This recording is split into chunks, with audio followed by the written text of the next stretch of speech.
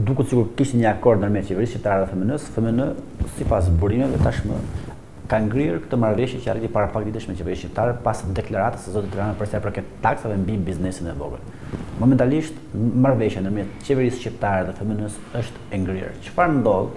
Çfarë do të ndodhte në rast se kjo marrëveshje po them unë nuk shkrihet dhe zoti Rama ka prishur marrëveshjen në mënyrë të njëanshme.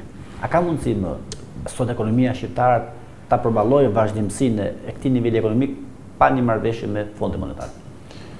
Kemi parasysh që marrëveshja në rastin konkret me Fondin Monetar Ndërkombëtar dhe në mënyrë të veçantë mas mosrealizimit të të ardhura është më tepër një marrëveshje psikologjike. Në çfarë kuptimi? Pra, është një farë pashaporte që i thotë të gjithë investitorëve të tjerë, që Shqipëria është në një gjendje akoma mbijetese, sepse jemi dhe ne aty dhe po mundohemi ne të mos e lejmë të shkojë në kolaps. Në momentin që do të prishet kjo marrëveshje, edhe kjo mbrojtje psikologjike ndaj kësaj qeverie apo ndaj ekonomisë shqiptare do të binte dhe gjërat mund të shkojnë shumë keq. Pra kriza mund të binte me shpejtësi. Çfarë ndodh me Fondin Monetar Ndërkombëtar? Në përgjithësi Fondi Monetar Ndërkombëtar, përveç që ka një axhendë dhe kërkon çdo tremujor të realizohen detyrat dhe në varësi të realizimit të detyrave, pra të kushteve apo të kondicionaliteteve që i quajnë ata, lëshon dhe transhin, dhe kjo është më tepër nuk është ndonjë transh lekësh shumë i madh, por kjo është më tepër një pashaportë që i i lejohet Shqipërisë dhe pastaj vjen Banka Botërore dhe mbas Bankës Botërore vijnë dhe investitorët e tjerë.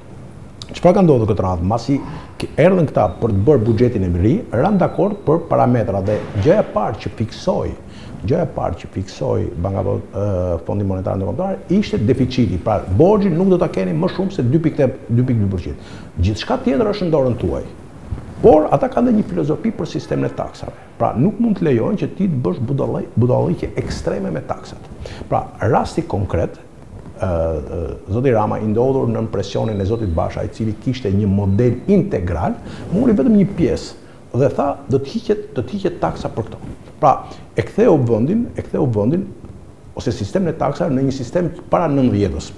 Nuk ka mundësi që ti të lësh pa taksa biznesin e vogël. Pra duhet gjetë një mekanizëm se si ta lehtësosh biznesin e vogël, por kjo ka edhe probleme tjera. E para njëherë duhet t'i vendosësh njerëzit në të njëjtin nivel. Për shembull, një punonjës që merr një rrogë shtatëqind mijë lekë, duhet paguajë tatim mbi të ardhurat njësoj si një biznes i vogël që ka shtatëqind mijë lekë të ardhura. Nuk mundet që ai që është një biznes i vogël, meqenëse ti ishe nën presion, Ta çlirosh komplet, t'ia bësh taksat zero, ndërkohë që një punonjës i cili e ka rrogën shtatëqind mijë lekë, ti i ke vendosur taksën progresive dhe ai e ka pesëmbëdhjetë për qind për të paguar tatimin mbi të ardhurat. Dhe FMN-ja pikërisht këtë i tha, ju po shkatërroni sistemin e taksave dhe i ka lëshuar mesazhin shumë të qartë.